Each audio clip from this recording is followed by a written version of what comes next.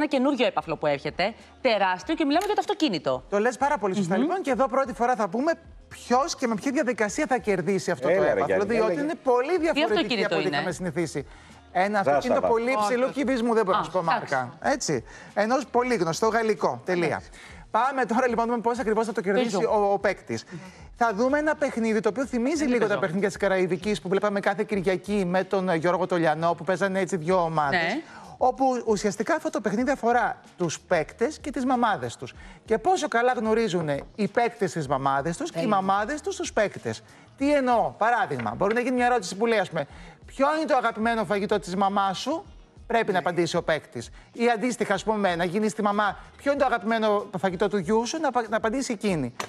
Μέσα λοιπόν από αυτές τις διαδικασίες θα καταλήξουμε σε δύο παίκτες.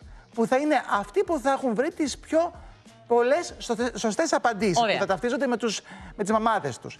Και αμέσως μετά θα Δηλαδή γίνει. θα κερδίσει ο μαμάκιας. Ο μαμάκιος, όπως το λες ακριβώς.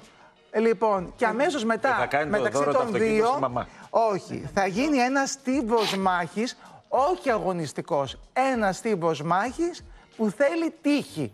Δεν μπορώ να, παρα, να πω Ξέρουμε ποιο παραπάνω το κερδίσει. Έχει πράγματα. γυριστεί ήδη. Δεν θα πούμε. δεν το ξέρω, Όχι, παιδιά. όχι, ξέρουμε ποιος το κερδίζει με, με την Ποιος έννοια έχει ποιος θα- επαφέ με τον Sky από εσάς να μάθει; Ε, Τώρα να το πάρουμε. Πού είναι η Πολυκάρπου, Πολυκάρπου! Εγώ δεν έχω έχει επαφές, επαφές. εγώ, ε, ε, εγώ Δεν έχω έχει επαφές. γυριστεί ακόμα. Αλλά άμα τους πάρω θα μου πούνε ψέματα. Να σε α, παραπληροφορήσω. Λοιπόν, εδώ βλέπουμε ότι έχει Ε, γίνει έχει κάτι γίνει. αντίστοιχο στο παρελθόν. Μα Μπράβο. έτσι Τότε το είχε συμβαίνει. κερδίσει ο, Ο Βασάλος. Ο Βασάλος, ο Ε, Κωνσταντίνος. έτσι είναι η διαδικασία για να υπάρχει ισορροπία. Δεν είναι κάτι που Ε, ναι, θέλει γιατί μια αν είναι δύναμη. αγωνιστικό, ξέρουμε ότι θα, Και ποιος θα εδώ- πάρει τα μάξι. Λοιπόν, βλέπετε Και που θα σας κάνει έλεγα την για το βόλτα και η στίβο Μαριαλένα. μάχης που θέλει τύχη. Θυμάμαι στο πρώτο survivor. Φαντάζεσαι να έπαιρνε το στην κερδίσει ο ουσία Τριαντάφυλλος. Να κάνουν. Τέτοια.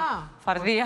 Εντάξει. Δεν είναι απίθανο οποιοδήποτε να το κερδίσει. Σωστά, ναι. Και η Σαλαγκούδη μέσα να ήταν μπορεί να το Ναι, κερδίσει. ναι, ναι. Λοιπόν, βλέπετε πλάνα από αυτό που σας έλεγα πριν. Εδώ είναι με κλειστά τα μάτια, προσπαθούσαν να φτιάξουν ένα puzzle. Αυτό είναι από το πρώτο ουσιαστικά ε, survivor που έτσι με αυτόν τον Ήταν ο τρόπο. Βασάλο με ποιον έπαιζε; Με το μισθοφόρο πρέπει Να να, το είναι. βλέπεις και προσπαθούσαν να, να, να ψηλαφίσουν, να δουν πού υπάρχει το κενό Ναι, για ναι, να δεν βάλουν το είναι αντίστοιχο θέμα νούμερο. δύναμης, δεν είναι Όχι, θέμα είναι πιο πολύ τύχης. αντοχής, δεν είναι Για να θέμα. είναι δίκαιο. Αυτό ναι, ναι, το έχουν κάνει έτσι για να μην έχουμε το Είναι θέμα επαφαβορή ικανότητας εδώ, έτοιμα παιδιά. και να έχει ένα ενδιαφέρον. Δηλαδή σκέψου Πάντως, να ήταν πίστα, θα έλεγε Σάκης βέβαια. Ηλίας. τελεία. Σαλαγκούδι τριαντάφυλλος, το αγαπημένο μου survivor είναι. Ναι, αυτό. εννοείται. Μάλιστα. Το αγαπημένο Λοιπόν, μου αντι-survivor.